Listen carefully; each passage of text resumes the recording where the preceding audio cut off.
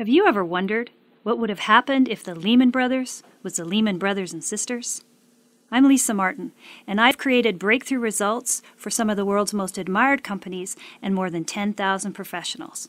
And what I've discovered is the secret between organizations that falter and those that fly.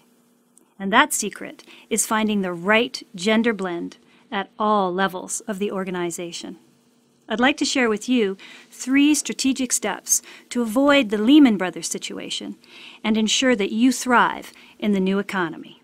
Step number one support the women and men in your organization to know themselves, their strengths and their weaknesses, and their unique leadership traits.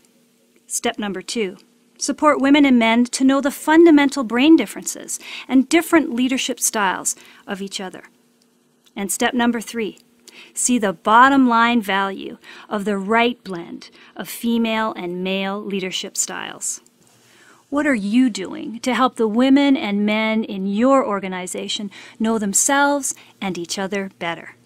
What are you doing to create the right gender blend to boost productivity and set up your organization to win in this reset economy?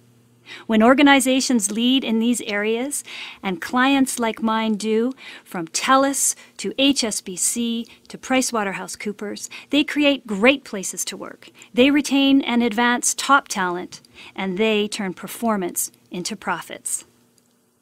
Let's talk about how diversity and inclusiveness can be your competitive weapon.